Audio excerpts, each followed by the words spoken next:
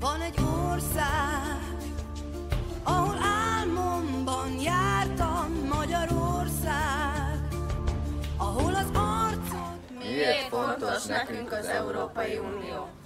Több lehetőség, Egyensúly, béke, jólét, kutatás, tudomány, növekedés, összefogás, szavazás. sokszínűség. Álmomban egy életen át Csak Ajda!